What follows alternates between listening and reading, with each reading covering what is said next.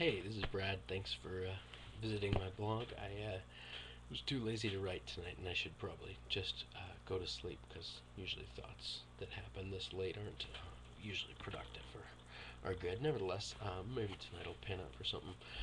Uh, we're those of you who know us personally know that we're kind of in a confusing time, wondering what the Lord's going to do, where the Lord's going to take us, how this is all going to work out, and um, the Lord has provided an intense peace that He's never, or that I've never known before in weird, unusual, trying uh, times of this kind of expectant wondering.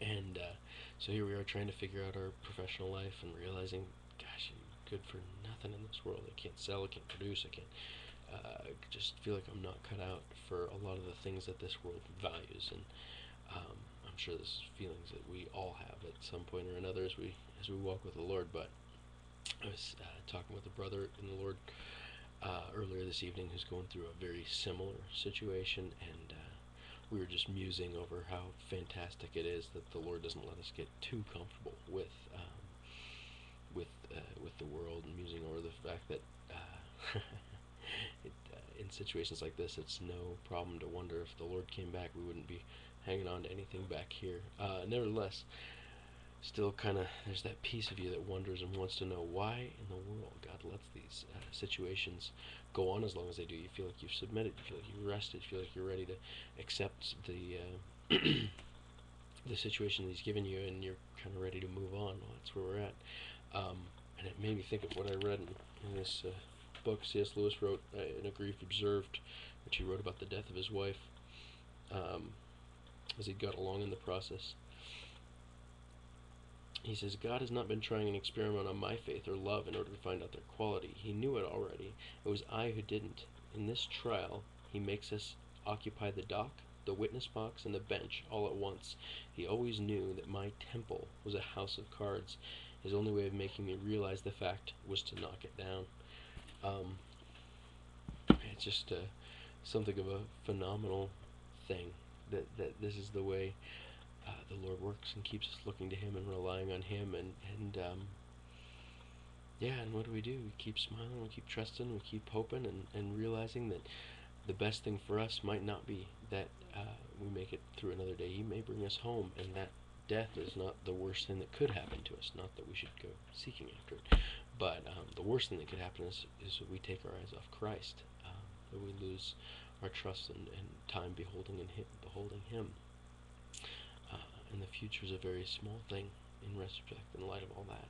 So quite a quite a phenomenal thing, and um, really found it to be such an encouragement to talk to our brothers in a very similar situation, and uh, dealing with the same issues that that uh, that I am, that we are, and wives and families and kids and the whole deal, and just wondering what's the Lord gonna do? Where's this gonna go? And finding out that it'll go where He wants it to go, and it'll be good.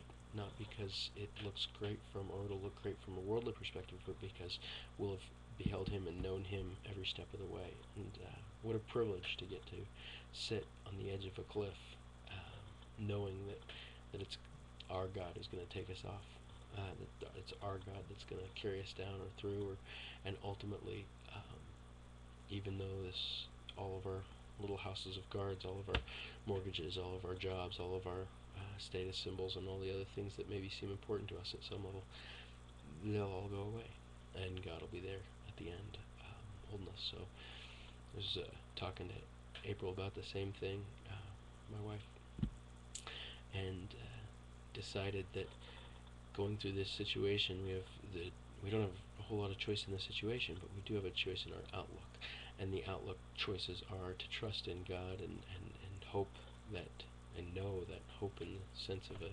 expected and guaranteed hope, know that He's got something ahead for us, or fall into despair and wonder and fear if He's actually there, if He's actually paying attention, and uh, it's just no way to live, living in doubt, living in fear. It seems like James talked a little bit about that. Um, so, praying for the strength to choose hope today. Praying for the strength to choose to trust in Christ. Praying for all that thing, all those things for me, and praying for all those things for you. So, what helps you?